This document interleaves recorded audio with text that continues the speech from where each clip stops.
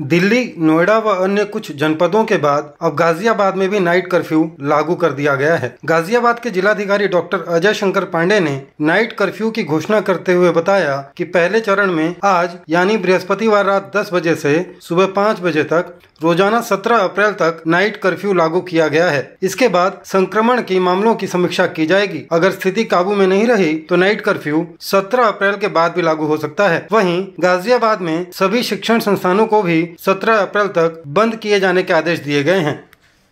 जनपद गाजियाबाद में कोरोना के संक्रमण को नियंत्रित करने के लिए सभी शिक्षण संस्थाओं को 17 अप्रैल तक बंद करने का निर्णय लिया गया है। जिन शिक्षण संस्थाओं में परीक्षाएँ चल रही हैं या जहाँ प्रैक्टिकल्स चल रहे हैं, वे यथावत खुले रहेंगे।